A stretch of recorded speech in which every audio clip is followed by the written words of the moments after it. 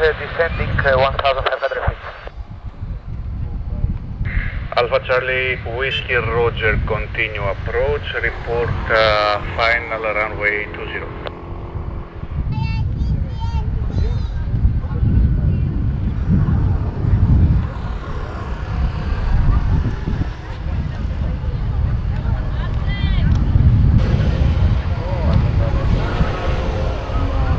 Kestrel 35 Lima Hotel, ready for departure.